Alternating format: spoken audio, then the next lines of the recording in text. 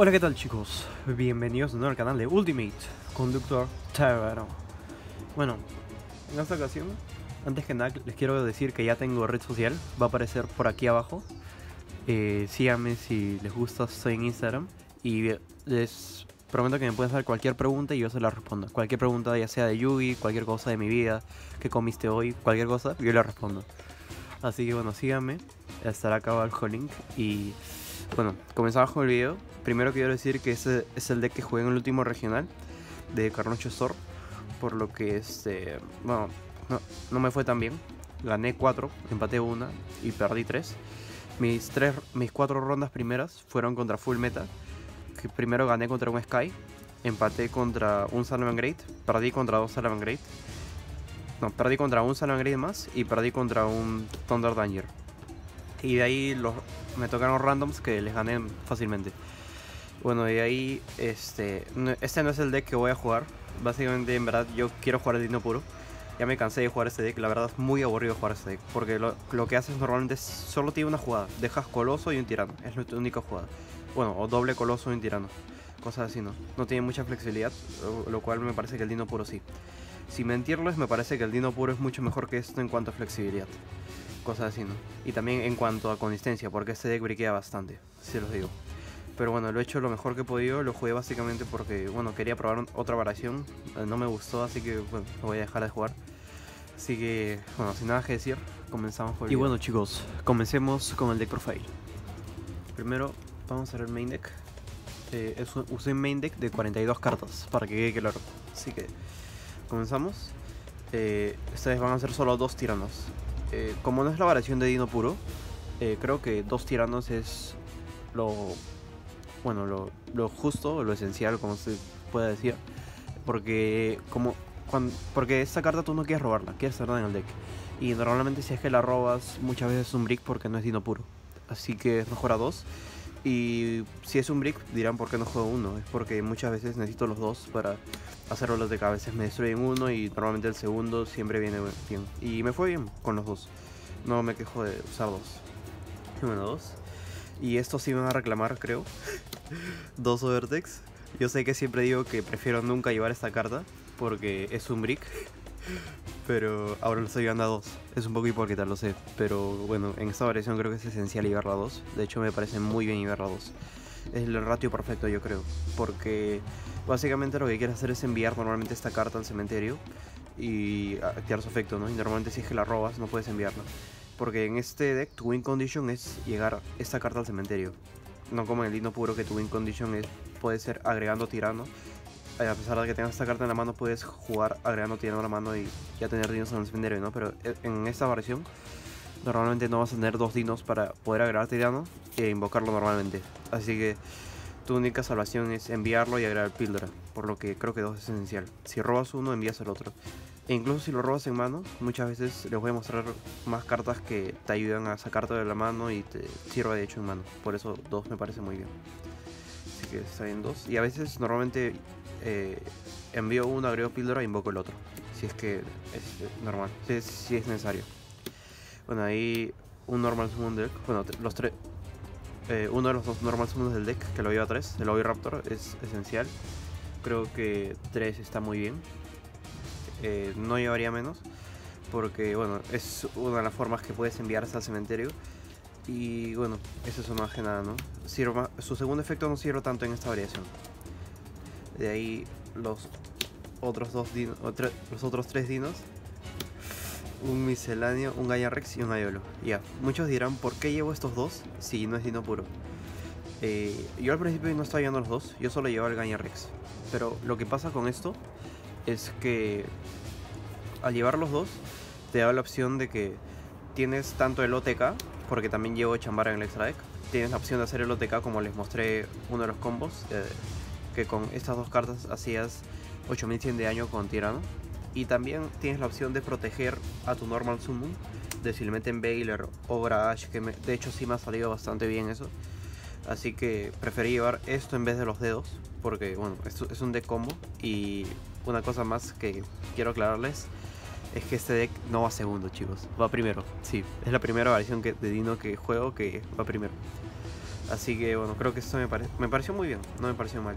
De hecho yo no es que nunca saqué a Chambara, pero la idea detrás de esto está bien. Lo que más me sirvieron es para defender a mi Raptor de que no me traen Ash ni Bailier ni Obra.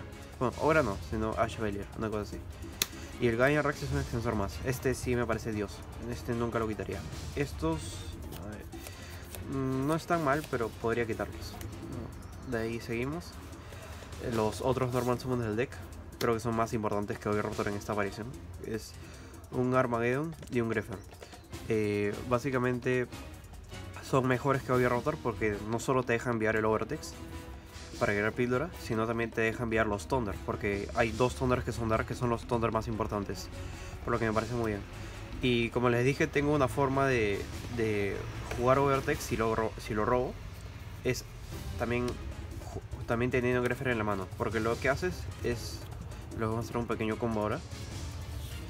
Eh, ya, robas estos dos. Lo que haces es eh, descartar esto, invocar Special Greffer y activas efecto de Vortex para, para añadir píldora, por lo que me parece muy bien la interacción. Por eso es que también no es tanto brick el Vortex en esta variación.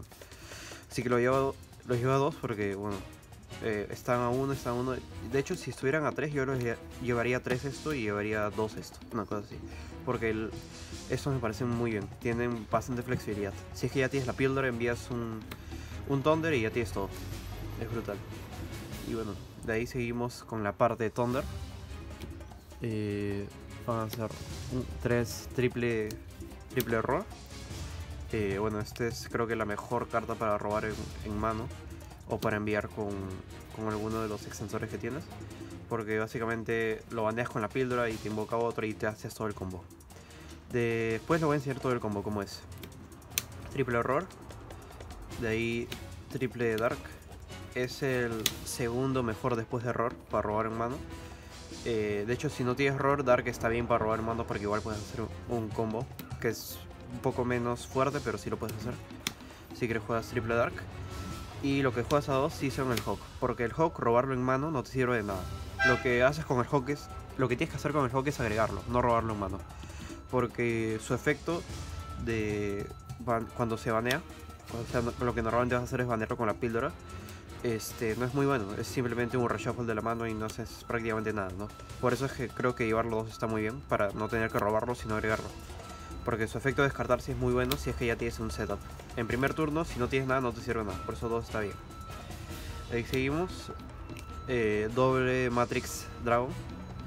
Eh, me pareció muy bien el ratio esto. De hecho, eh, me gustó mucho jugar este ratio porque normalmente en el combo haces un Sorcerer tarjeteando el Thunder que tienes acá para invocar uno del deck.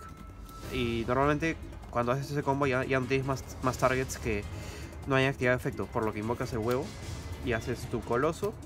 Y cuando se envía al cementerio buscas y te da un más uno, por lo que me parece muy bien el huevo. Y también con el titán puedes descartarlo, activar su efecto, me parece brutal. Sí, me pareció dos buenos. me, creo que este es el ratio perfecto para jugar los Thunder si juegas la variación continua. Así que me pareció muy bien. De ahí otros extensores más. Triple Danger Modman. Sí, chicos. No tengo para comprar los otros Dangers más caros. Pero eh, no me, en verdad no, no, es que sea algo malo, ¿no? Sino es que simplemente eh, el Modman me pareció una carta muy brutal. Eh, de hecho, esta carta es la que me ha salvado varias veces. Hay veces en las que he brigueado y activa Modman, robaba una y robaba, no sé, a of Darkness y me desbloqueaba totalmente el mando. Me pareció brutal esta carta. Y de hecho no es que no, es que no quisiera llevar eh, Nessie o, o Tsuchinoko, unas cosas así, ¿no? Sino es que Modman es un Dark de level 4 que eh, si, si, se envía al cementerio puedes descartar una, bueno, puedes robar una y descartar una. Lo que normalmente puedes hacer con Modman es que si se envía al cementerio puedes descartar, como les dije, el Overtex y activa su efecto, por lo que me pareció brutal esta carta. Así que me pareció bien triple, triple. Eh, de hecho, si tuviera los Nessis, podría, sí, sí sería bueno jugarlo. Pero Modman por ahora me parece muy bien. También que es un level 4 que puede hacer los Exis de rango 4 genéricos que les voy a mostrar en el Strike. Pero bueno, seguimos. De ahí, eh, solo doble Ash son las únicas hand que juego. Como es un deck que va primero, creo que las hand traps eh, no es que sean tan esenciales, por lo que creo que dos está bien. Si es que me mandan segundos, segundo, eh, espero robar al menos una. Así que me parece muy bien. También que no tenía tanto espacio. Por eso la dos. De ahí, buscadores. Triple Fossil Dig. Creo que no necesita explicaciones para la consistencia. Para agregar Raptor a veces misceláneo o a veces Gaia Rex incluso. De ahí, esto sí es un poco extraño. Tres píldoras. Normalmente se juega dos. Pero creo que en esta variación 3 es esencial. Porque esta es la carta que une a los dos decks. Es como que es la que le das energía a los dos decks. Por eso creo que llevarla 3 es esencial. Porque básicamente lo que te da esta carta es un más 3. Porque de hecho lo que hago muchas veces es activarla. Baneas un Rex y un Thunder. Invocas un Tirano o un Overtex. Triggerás efecto tanto del Gaia Rex como el Thunder. El Thunder te invoca otro Thunder, tienes unas jugadas. Esa carta me parece brutal en el deck, por eso me parece bien llevarla 3. Y también tiene el buscador que es el Overtex, por eso está muy bien. De ahí, triple Aluro Esta carta es brutalísima, es el draw power del deck. De hecho, este creo que es una de las mejores. Creo que es de hecho la mejor carta del deck, incluso. Porque puedes robar dos, baneas un Thunder y haces efecto. Es muy brutal esta carta. No, es imposible que lo baje de 3. Así que, bueno, se llama Perlokchung Darfrinstringsen. Justo las cartas, bueno, no voy a decir que no son mías, me las prestó un amigo que es alemán que se llama Paul. Paul, si está escuchando esto, gracias por todo. Así que bueno, seguimos. De ahí los que lleva uno, Gold Sarcophagus, Fully Burial, Rota, eh, Rigor, eh, One for One y la fusión. Ya, estos son los, uh, los One Power, eh, los unos de poder, como, como quiera decirle. Este, el Gold, Sarcophagus, si estuviera atrás de de 3, es brutal. Muchas veces me ha salvado cuando he briqueado cosas así. Tengo un montón de jugadas con el Gold Sarcophagus. Con el Full Burial también es brutal, tienes bastante flexibilidad para enviar un Thunder o el Overtex. También el Rota es para agregar los Warriors, consistencia. Monster Reborn, de hecho, en esta variación Monster Reborn parece muy brutal. Puedes descartar un Thunder y aunque no tengas ningún toner en campo, lo revives con Monster Reborn. Y como ya has descartado uno, puedes, puedes hacer colos. Es brutal. One for One no me pareció tan buena. Simplemente decidí llevarla a último momento. Porque como empecé a llevar el Jura que Eolo. Y también me di cuenta que llevaba los huevitos que son level 1. Me pareció que es. Bueno, tiene bastante flexibilidad de poder invocar al de, a la Eolo o a los huevitos. Por eso es que me pareció buena en teoría, pero en práctica no. Cuando la robé nunca la usé, pero igual gané. Así que no creo que sea tan necesaria. Y un Dragon Fusion, muchas veces un brick, nunca quieres verla en primera mano, quieres agregarla. Porque necesitas tres Thunders en el cementerio para activar, por lo que normalmente no, no quieres verla. Así que estoy empezando a quitarla y quitar Titán también, porque es la forma más más fácil de invocar Titán con Fusion. Así que estoy pensando en quitarla, pero no estoy tan seguro. Así que esto es el main deck. Ahí seguimos con el extra deck, lo más importante. Acá vamos a hacer triple coloso. Ya. Eh, mucha gente que juega esta variación he visto que lleva dos. Yo creo que llevar dos es muy arriesgado. Porque normalmente eh, hay veces en las que el primer turno solo dejas un coloso en la extra Monster Zone. Y el segundo turno ya tienes más jugadas y tienes que hacerlo a Link. Para invocar dos colosos más. Una cosa así. Por eso es que creo que 3 es esencial también que este tu, primera jugada siempre va a ser, bueno, normalmente siempre va a ser dejar dos colosos. Por lo que este si pierdes los dos, necesitas al menos el tercero parte de otra jugada con los Thunder y cosas así, ¿no? Así como tres me parece muy bien. De ahí seguimos. El otro Thunder Dragon es el un, un titán. Es imposible que lo llegue a dos. De hecho, hay, de hecho, pocas veces lo invoco, pero sirve. Muchas veces cuando quieres destruir cosas. De hecho, una vez contra un, un heraldo, que no es que sea tan bueno, pero... No, perdón, eh, un Necros. Eh, invoqué Titán y tenía como tres toners en el cementerio para, para tres toners en la mano para descartar, destruir tres cosas y le hicieron cosas así. Me parece que está bien llevarlo a uno. De ahí los rango 4, un Lagia, un Dolka, un Exitón y un dueler. ya, de acá lo que nunca saqué fue, en verdad, sin, sin nunca saqué los tres. Lo único que saqué fue el dueler. Este, básicamente como no es dino puro, Normalmente lo que necesitas para sacar esos dos es haber baneado un Gaia Rex y tener el Oviraptor en campo. Y de hecho, no es que no pase mucho, sino que las veces en las que hago eso, prefiero normalmente hacer link con los dos para tener más espacio para invocar dos colosos. Porque dos colosos me parece mucho mejor que dejar solo un Lagia o un Durka. Y ya pues, el escritor más que nada es para el back.